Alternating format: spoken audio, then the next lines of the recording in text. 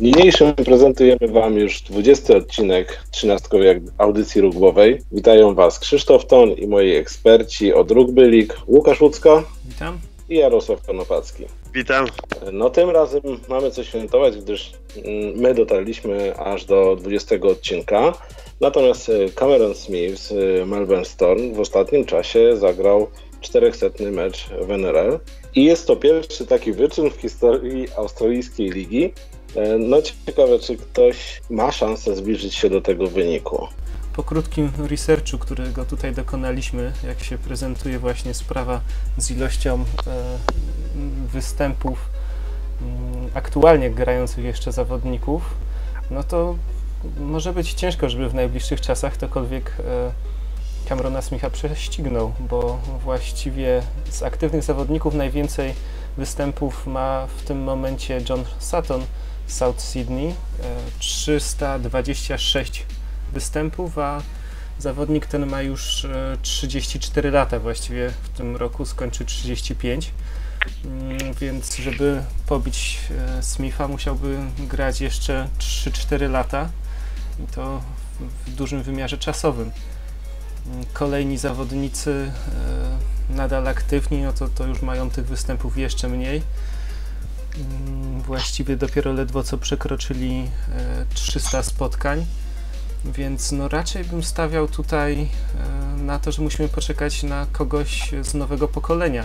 Zwróćmy uwagę, że sam Cameron Smith debiutował w 2002 roku, e, czyli to jest aż 17 lat kariery, więc być może e, ktoś, kto pobije Camerona Smitha, to ma w tym momencie dopiero 50 występów, 100, a może jeszcze nie zadebiutował w NRL.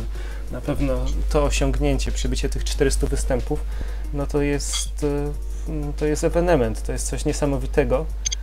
E, Cameron Smith potwierdza tylko tutaj swoją legendę.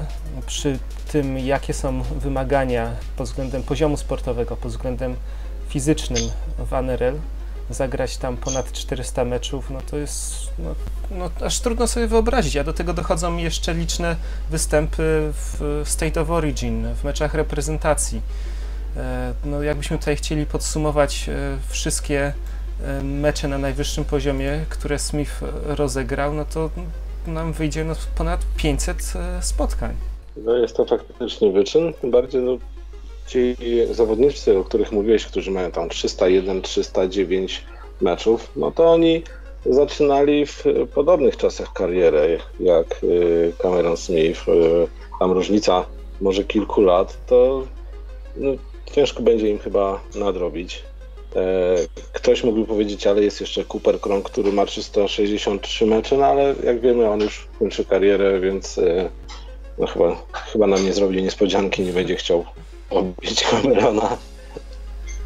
No właśnie, to, to te wymagania, które stawia przed zawodnikami ANRL w dzisiejszych czasach są tak duże, że naprawdę jest niewielu zawodników, którzy kontynuują karierę w wieku 35-36 lat.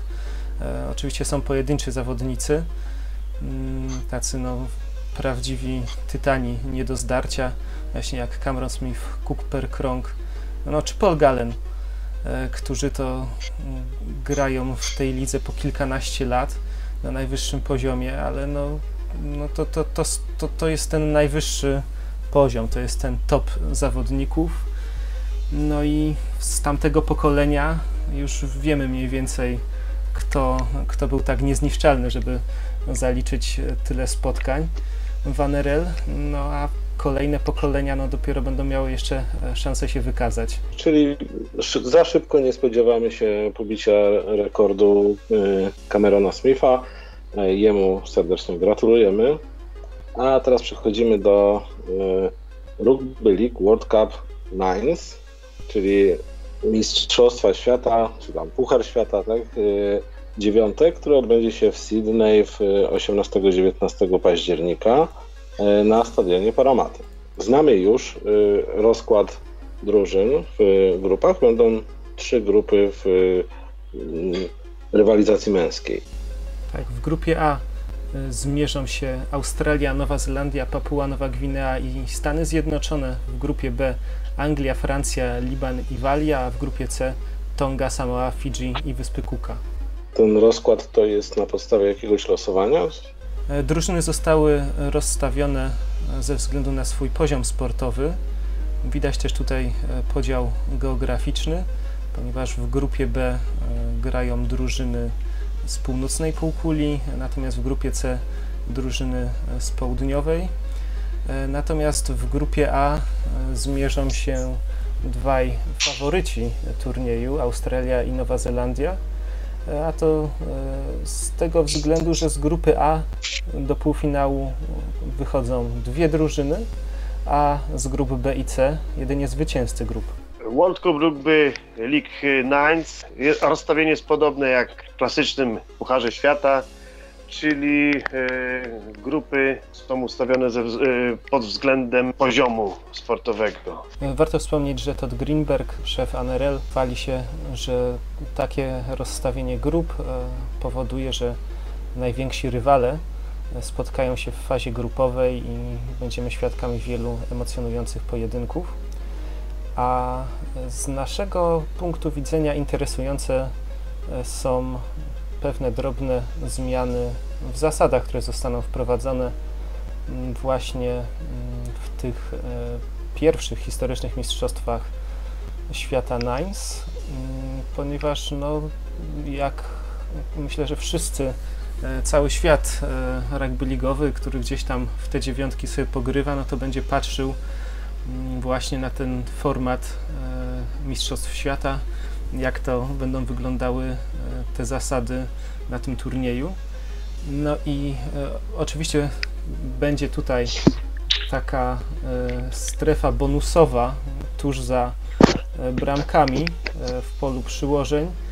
Jeżeli przyłoży się w tym konkretnym miejscu pomiędzy słupami, wtedy mm, przyłożenie ma wartość 5, a nie 4 punktów. Coś takiego widzieliśmy już w ANRL Oakland Nines, mm, ale innymi ciekawymi zmianami są chociażby wprowadzenie zasady 2040.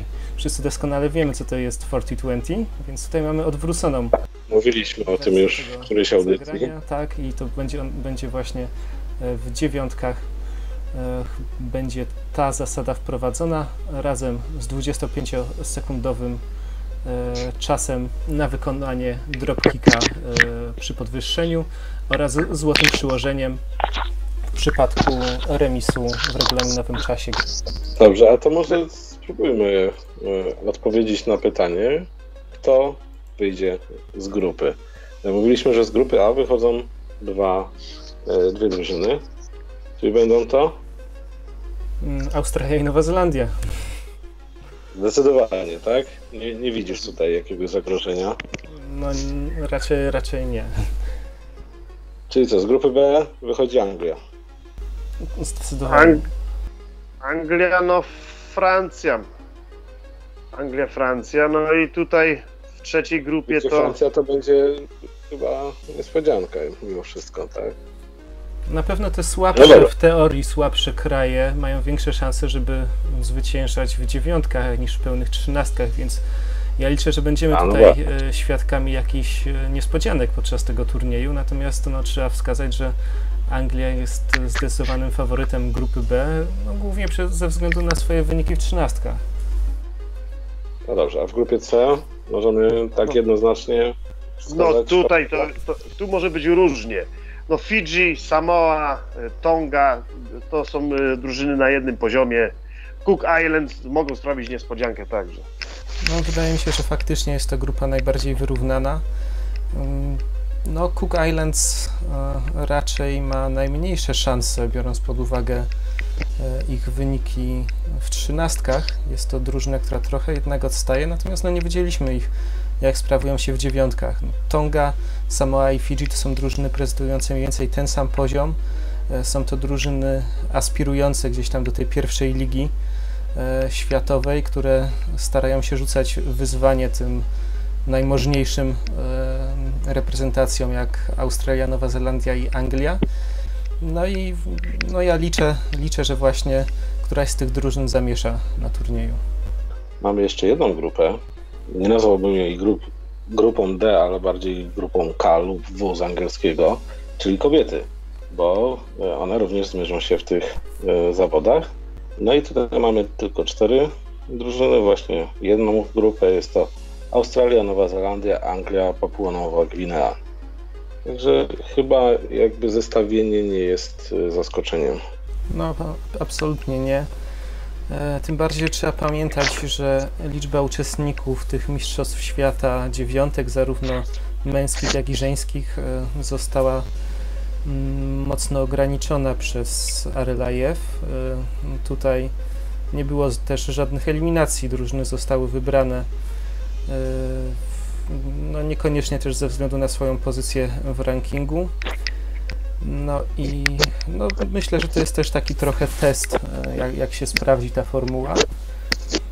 No i zobaczymy. Na pewno, e, na pewno w przypadku żeńskich e, rozgrywek, no to mamy tutaj trzy najsilniejsze reprezentacje, no i Papuę Nową która no te, też, też z pewnością jest w czołówce, chociaż reprezentacje Samoa czy Fidżi pewnie mogłyby też powalczyć o tą e, pierwszą czwórkę.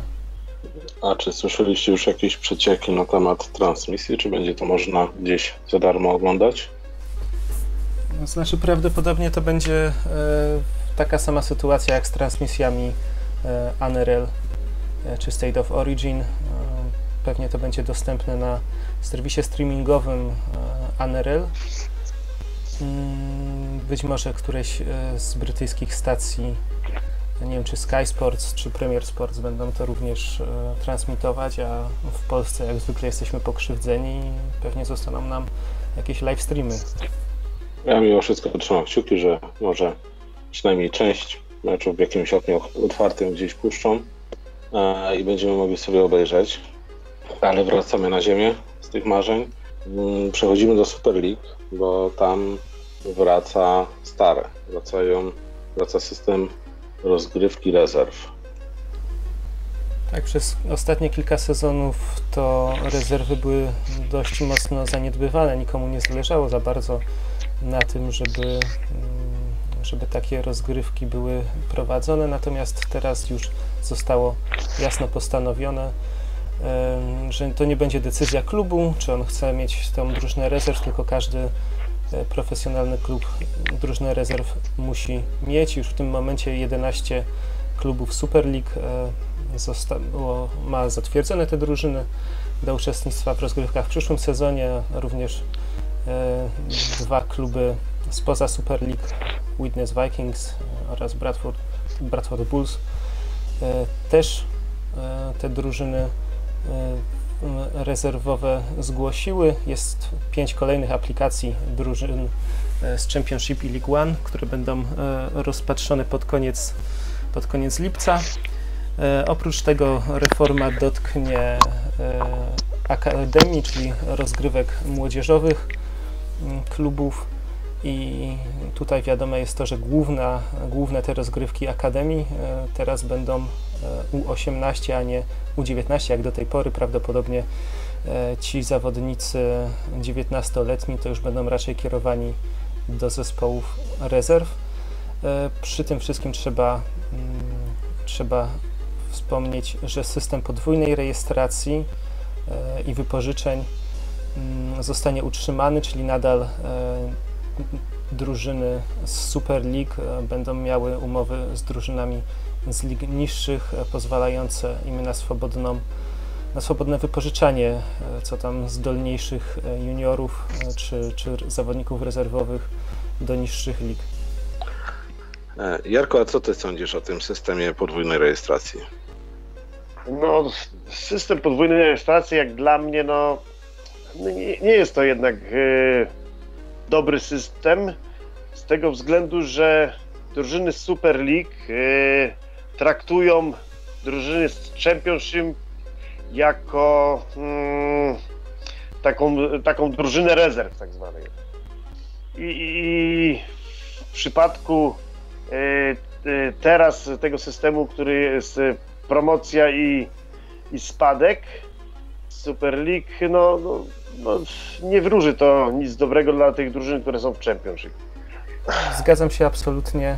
Ten system mógłby się sprawdzić w takiej sytuacji, jaką mamy w ANRL, gdzie liga jest zamknięta, gdzie drużyny z niższych szczebli rozgrywkowych nie mają szans na awans, więc no, podpisują umowy partnerskie z drużynami z ANRL. Dzięki temu e, są wzmacniane mm, zawodnikami na przykład wracającymi po kontuzjach, którzy muszą się ograć e, na tym trochę niższym szczeblu, zanim wrócą do ANRL, a także różnymi zdolnymi e, juniorami mm, drużyn z ANRL.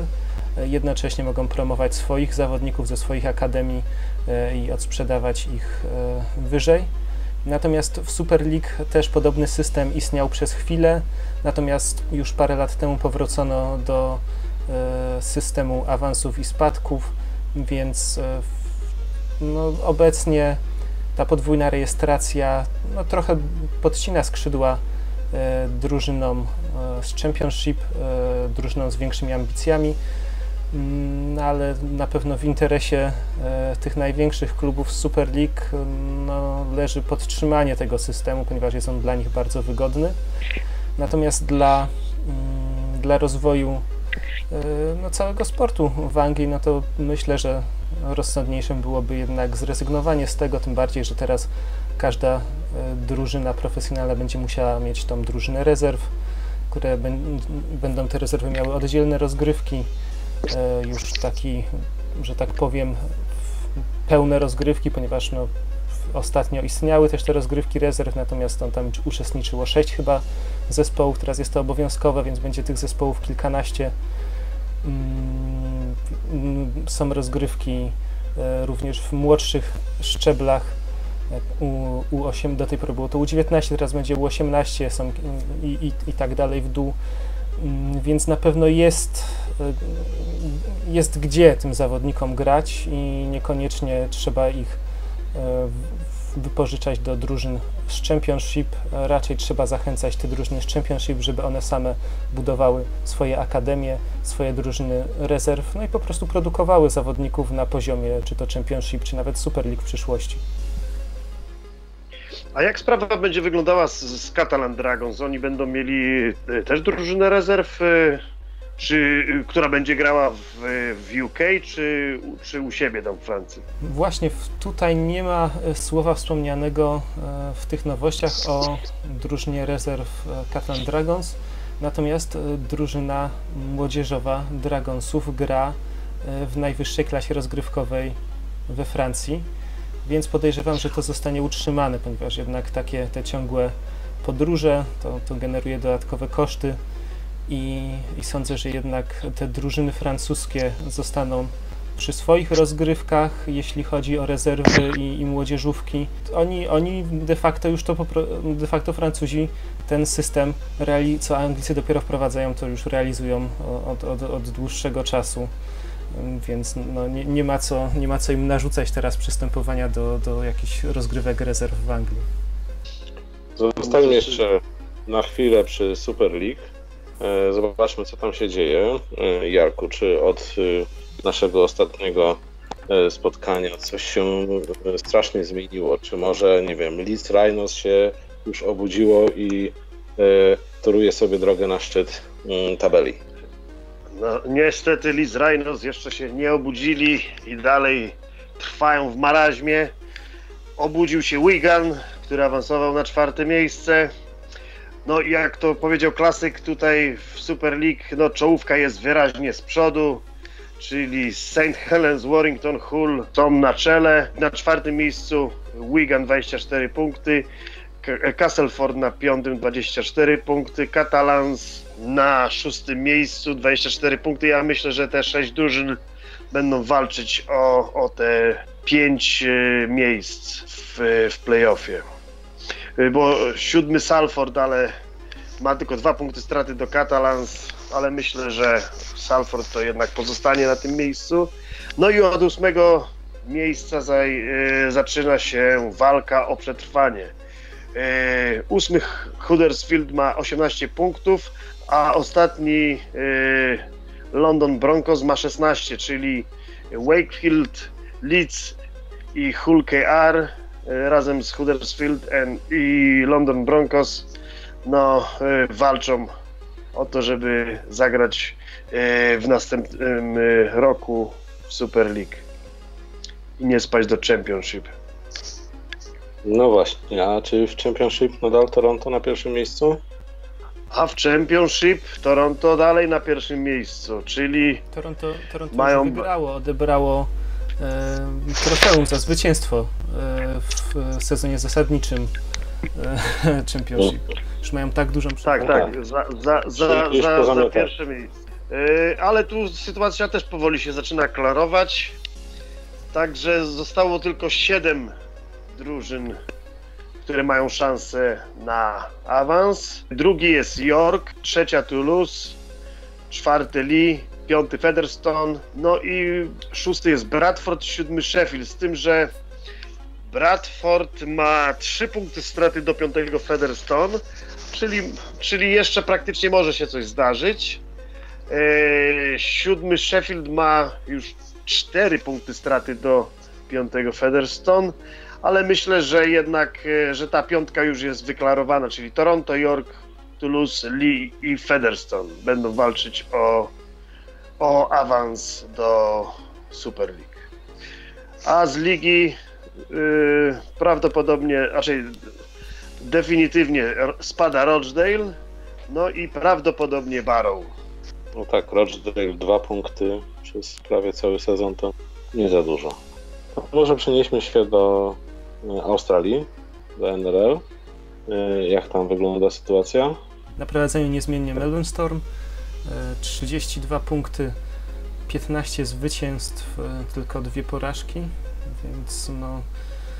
Ładnie. To, to, to, to jest drużyna, która niezmiennie od kilku lat jest w tej czołówce, no i co roku wszyscy wieszczą, że nie, no już ten, e, ta era e, Stormy musi się w końcu skończyć, już oni tam się starzeją ci zawodnicy, odchodzą ci zawodnicy, no tam przychodzą nowi i okazują się równie dobrzy, więc mm, na pewno bardzo interesujące, e, interesujący przypadek. W najbliższą weekend Storm będzie grało z piątym w tabeli Manly Sea Eagles. E, no a na drugim, e, trzecim, czwartym miejscu są Rabbitohs, Roosters, Riders. E, odpowiednio 26 i 24 i 24 punkty. Mm, no myślę, że tutaj raczej wal o walce o pierwsze miejsce nie ma co mówić, raczej jest tutaj walka o, o miejsca, o te konkretne miejsca 2, 3, 4 które dają rozstawienie przed e, fazą playoff. No tu trochę y, taka niespodzianka jest y, taka, y, czwarte miejsce Raiders i piąte miejsce Sea Eagles. No, nie, parę, parę, parę, parę, parę miesięcy temu nie stawialiśmy na nich, stawialiśmy na że te drużyny będą w dole tabeli, a tu jednak ANRL potrafi zadziwić. Tak, tak. Co roku są jakieś takie drużyny którym e, przepowiada się gdzieś tam walkę co najwyżej o playoffy, a oni potem dołączają do czołówki. E, z kolei różne drużyny przewidywane do, e, do walki o najwyższe trofea rozczarowują, jak chociażby St. George Dragons w tym sezonie, którzy aktualnie są już na 14 miejscu w tabeli. Tak to, myśmy chyba zamienili e, Cowboys i Dragons e, właśnie z, e, z Raiders i Seagulls. Jakoś tak to miało być. Tak. No i jeszcze jakieś plotki chodziły, że Gold Coast ma się przenieść do Brisbane, coś takiego było. No te plotki o przenosinach e, Titansów, no to, to się pojawiają właściwie co roku i to są e, za każdym razem w inne miejsce się przenoszą. No, pewne jest to, że jest to klub, który ma potężne problemy organizacyjne, potrafią się ogarnąć e, już kolejny sezon i tu nie chodzi tylko właśnie o te o względy sportowe, ale całokształt działalności klubu. No i no, trzeba będziemy śledzić na pewno, jak ta sprawa się rozwinie. Z, z pewnością jest potrzebny tam jakiś no, e, zastrzyk nowej energii, czy, czy, czy najlepszym wyjściem są przenosiny drużyny, czy, czy, czy są jakieś inne opcje, no to, to w tym momencie nie chcę się wypowiadać. No, należy przypomnieć, że zajmują 16 miejsce w tym sezonie. E, frekwencja nie najlepsza. No i jest to drużyna, która ostatnia dołączyła do, do Anerelu. Tak, na pewno ten krótki okres istnienia e, Gold Coast Titans, e, no, tam nie było zbyt wielu sukcesów. Na razie nie ma perspektyw, żeby coś się tutaj zmieniło, ale no, trzymamy kciuki, żeby jednak ta zła im się odmieniła. To jest sport, wszystko się może zdarzyć. Jakby wszystko było łatwe do przewidzenia, to by było nudno. No i takim podsumowaniem, bo może już zakończę ten, przypomnę, 20 już odcinek trzynastkowej audycji rogłowej. E, za uwagę gorąco dziękujemy Dziękuję. Dziękuję. i do usłyszenia.